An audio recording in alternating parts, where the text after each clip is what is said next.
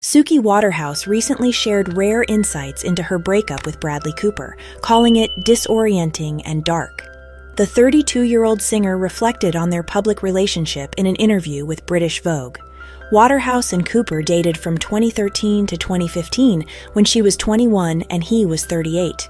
Their relationship was often in the spotlight, with tabloids frequently covering their every move. One memorable paparazzi shot captured them reading the book Lolita together in a Paris park, sparking controversy over their book choice.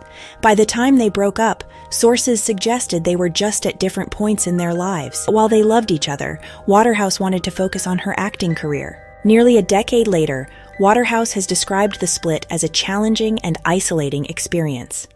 When something very public happens to you and the story behind it is dark and difficult, it can be very isolating, she told British Vogue. Waterhouse admitted it took her almost 10 years to fully move on. Reflecting on her past relationships, she described her 20s as sadistic and driven by lust rather than love. After her relationship with Cooper, she dated Diego Luna from 2016 to 2017 and started dating Robert Pattinson in 2018. Now in her 30s, Waterhouse feels she is finally receiving the respect she deserves. She and Pattinson got engaged last year after six years together and recently welcomed a daughter.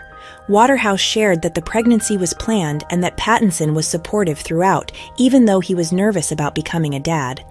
As for Cooper, he went on to date Irina Shayk, with whom he has a daughter, Lea.